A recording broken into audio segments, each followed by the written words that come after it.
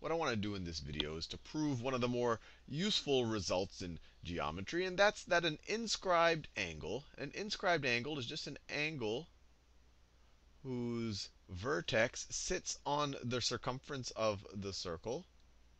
So that is our inscribed angle. I'll denote it by psi. I'll use psi for inscribed angle and angles in this video. That psi, the inscribed angle, is going to be exactly one half of the central angle that subtends the same arc. So I just used a lot of fancy words, but I think you'll get what I'm saying. So this is psi. It is an inscribed angle. It sits, its vertex sits on, a, on, its, on the circumference. And if you draw out the two rays that come out from this angle, or the two chords that define this angle, it intersects the circle at the other end. And if you look at the part of the circumference of the circle that's inside of it, that is the arc that is subtended by psi. So it's all very fancy words, but I think the idea is pretty straightforward. This right here, this right here is the arc, arc, let me write it this way. Arc subtended, subtended by psi, where psi is that inscribed angle right over there, the vertex sitting on the circumference. Now, a central angle is an angle is an angle where the vertex is sitting at the center of the circle. So let's say that this right here, I'll try to eyeball it. That right there is the center of the circle. And so let me draw a central angle that subtends this same arc. So that looks like a central angle subtending that same arc, just like that. Let's call this theta. So this angle is psi. This angle right here is theta. And what I'm going to prove in this video is that psi is always going to be equal to 1 half of theta. So if I were to tell you that psi is equal to, I don't know, 25 degrees, then you would immediately know that theta must be equal to 50 degrees. Or if I told you that theta was 80 degrees, then you'd immediately know that psi was 40 degrees. So let's actually prove this. So let me clear this. So a good place to start, or the place I'm going to start, is a special case. I'm going to draw a inscribed angle, but one of the chords that define it is going to be the diameter of the circle. So this isn't going to be the general case. This is just going to be a special case. So let me see. This is the center right here of my circle. I'm trying to eyeball it. Let me make it a little bit better. That looks uh, center looks like that. So let me draw a diameter. So the diameter looks like that. And then let me define my inscribed angle. This diameter is one side of it. And then the other side maybe is just like that. So let me call this right here psi. If that's psi, this length right here is a radius, right? That's our radius of our circle. And then this length right here is also going to be the radius of our circle, going from the center to the circumference. The circumference is defined by all of the points that are exactly a radius away from the center. So that's also a radius. Now, this triangle right here is an isosceles triangle. It has two sides that are equal, two sides that are definitely equal. And we know that when we have two sides being equal, their base angles are also equal. So this will also be equal to psi. You might not recognize it because it's tilted up like that, but I think many of us, when we see a triangle that looks like this, a triangle looks like this, if I told you this is r and that is r, that these two sides are equal, and if this is psi, this, let me draw that a little bit neater, this is psi, then you would also know that this angle is also going to be psi. Base angles are equivalent on an isosceles triangle. So if this is psi, that is also psi. Now, let me look at the central angle. This is the central angle subtending the same arc. Let's, let's highlight the arc that they're both subtending. This right here is the arc that they're both going to subtend. So this is my central angle right there, theta. Now, if this angle is theta, what's this angle going to be? This angle right here. Well, this angle is supplementary to theta, so it's 180 minus theta. Right? When you add these two angles together, you go 180 degrees around, or they kind of form a line. They're supplementary to each other.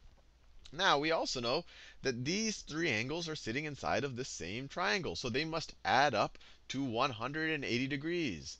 So we get psi, psi, this psi plus that psi, plus psi, plus this angle, which is 180 minus theta, plus 180 minus theta. These three angles must add up to 180 degrees. They're the three angles of a triangle. Now, we could subtract 180 from both sides. Subtract 180 from both sides. Psi plus psi is 2 psi minus theta is equal to 0. Add theta to both sides. You get 2 psi is equal to theta. Multiply both sides by 1 half, or divide both sides by 2. You get psi is equal to 1 half of theta.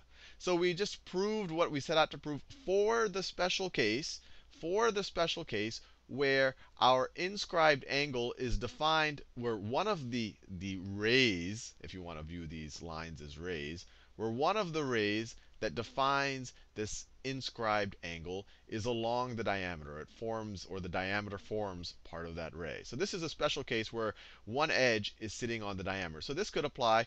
So already we could, this we could generalize this so now that we know that, you know, if this is 50, that this is going to be 100 degrees, and likewise, right? Whatever psi is, or whatever theta is, psi is going to be 1 half of that, or whatever psi is, theta is going to be 2 times that. And now this will apply for any time.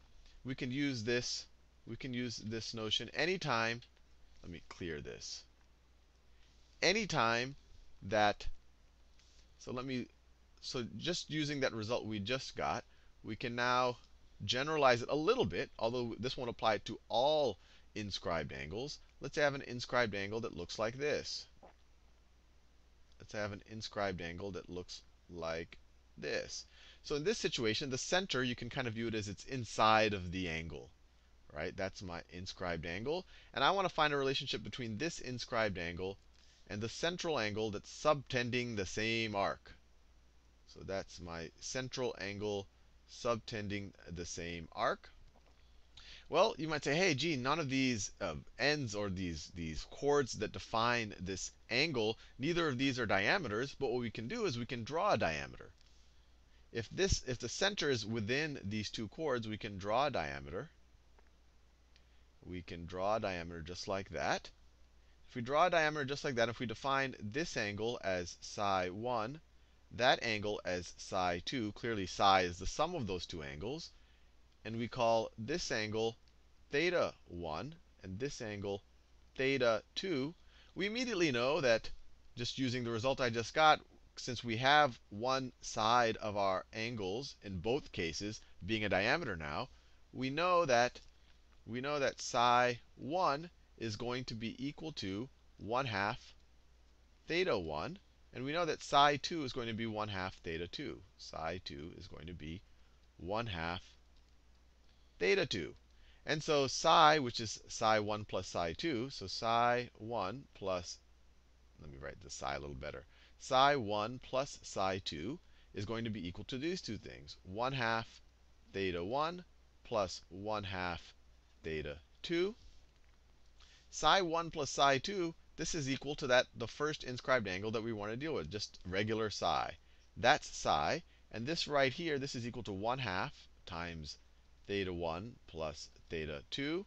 What's theta 1 plus theta 2? Well, that's just our original theta that we were dealing with, our original theta. So now we see that psi is equal to 1 half theta. So now we've proved it for a slightly more general case where our center is inside is inside of the two rays that define that angle. Now, we have to we still haven't addressed a slightly harder situation or a more general situation where me where if this is the center of our circle and I have an inscribed angle whose where the center isn't sitting inside of the two chords. So let me draw that. So let's say I have that's going to be my vertex and I'll switch colors. So let's say that is one of the chords that defines the angle, just like that.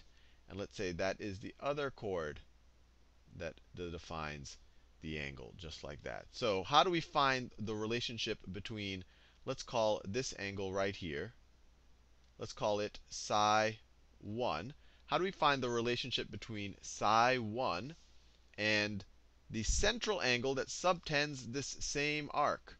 So when I talk about the same arc, that's that right there. So the central angle that subtends the same arc will look like this. It will look like this. Let's call that theta 1.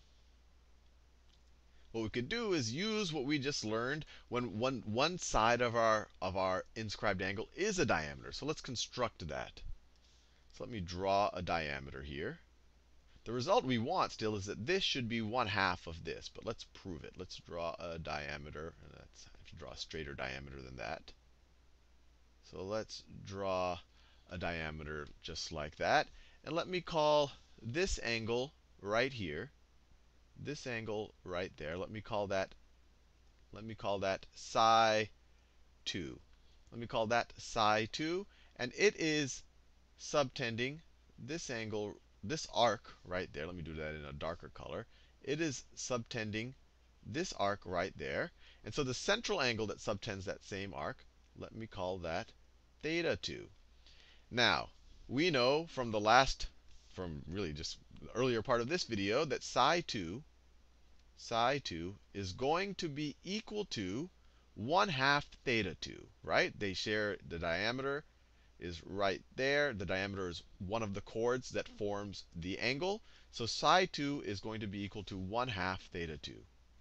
1 half theta 2. This is exactly what we've been doing in the last video, right? This is an inscribed angle. One of its end, one of the, the chords that define it is sitting on the diameter. So this is going to be 1 half of this angle, of the central angle that subtends the same arc.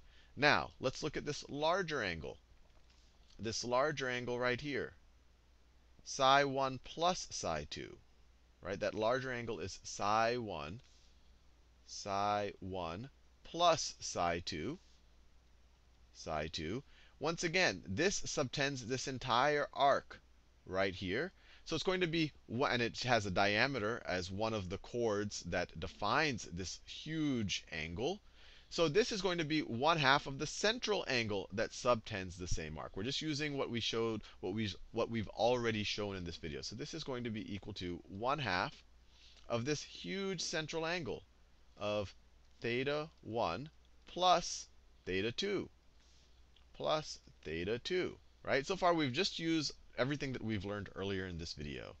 Now, we already know that at psi 2 is equal to 1 half theta 2. So let me make that substitution. This is equal to that. So we can say that psi 1, psi 1 is, e uh, sorry, psi 1 plus, instead of psi 2, I'll write 1 half theta 2.